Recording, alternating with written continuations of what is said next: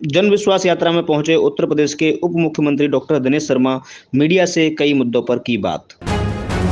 देखिए, आजकल चाहे वो कांग्रेस हो, चाहे समाजवादी पार्टी हो, चाहे बहुजन समाज पार्टी हो, आजकल वो बीजेपी से अपनी तुलना करके और लोग चर्चा में आना चाहते हैं। भारतीय जनता पार्टी अपने कार्यों के आधार पर एक पारदर्शी और निष्पक्ष शासन सत्ता का संचालन करती है।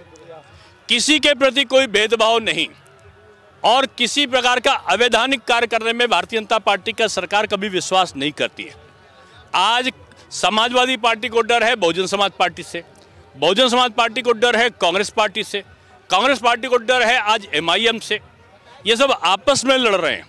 और भारतीय जनता पार्टी का किसी से पूछोगे सब नाम भारतीय जनता पार्टी का लेंगे।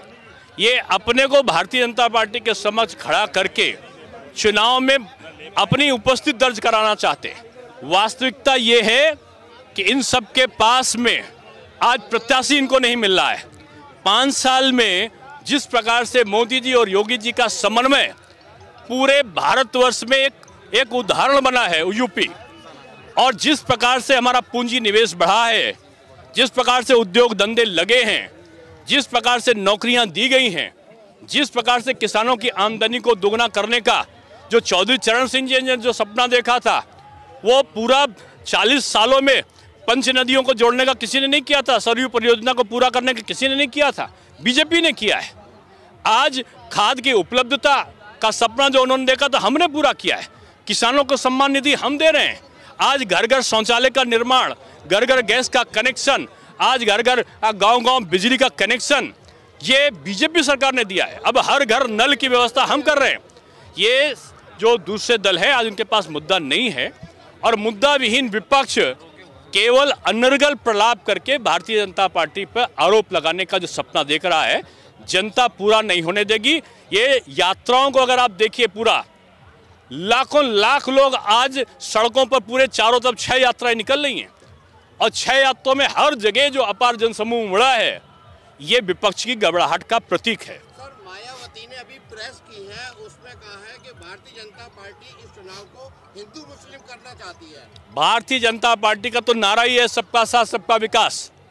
उनको पूछना चाहिए कांग्रेस से, जो हिंदुत्ववादी शब्दों पर विभिन्न प्रकार का आरोप लगा रही है, उनको पूछना चाहिए एमआईएम से, जो विभिन्न प्रकार के आरोप अब चालीस सालों में पंच नदियों को जोड़ने का किसी ने नहीं किया था, सरयू परियोजना को पूरा करने का किसी ने नहीं किया था, बीजेपी ने किया है। आज खाद की उपलब्धता का सपना जो उन्होंने देखा था हमने पूरा किया है। किसानों को सम्मान निधि हम दे रहे हैं।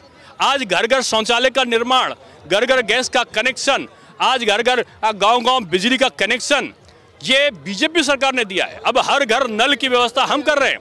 ये जो दूसरे दल है, आज उनके पास मुद्दा नहीं है और मुद्दा विहीन विपक्ष केवल अनर्गल प्रलाप करके भारतीय जनता पार्टी पर आरोप लगाने का जो सपना देख रहा है जनता पूरा नहीं होने देगी।